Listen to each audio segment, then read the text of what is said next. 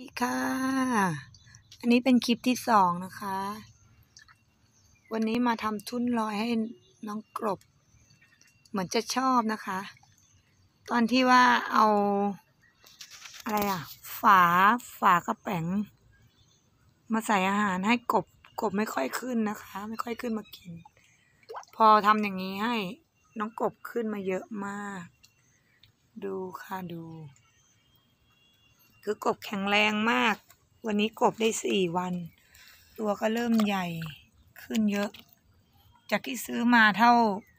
เหรียญบาทนะคะ ตอนนี้ก็มาเหรียญห้าเหรียญสิบแล้วกบแข็งแรงมาก แล้วก็ไม่ค่อยกัดกันเท่าไหร่ แต่ก็มีบ้าง ตั้งแต่ซื้อมาเพิ่งตายสามวันสี่วันเจ็ดตัว เมื่อเช้าอีกตัวหนึ่ง โดนกัดท้อง ท้องเป็นแผล แล้วก็หัว นี่กบของเราอยู่แบบ ง่ายๆ อยู่กับพื้นดิน อันนี้ก็ตะกร้าใส่อาหารบนบกของเขา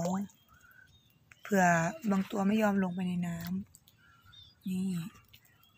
ตัวจะใหญ่ฝันนิ้วโป้แล้วนะ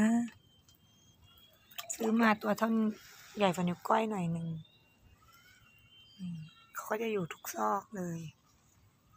แล้วก็มุดเข้าไป บ่อนี้มีปลาดุกนะคะ เลี้ยงแบบระบบนิเวศเหรอ เรียกถูกไหม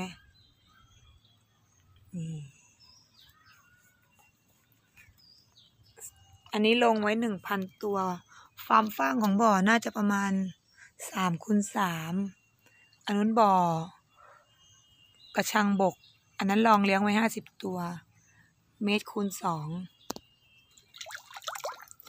แข็งแรงมากดู ตอนนี้สั่งกระชังบกสามคูณ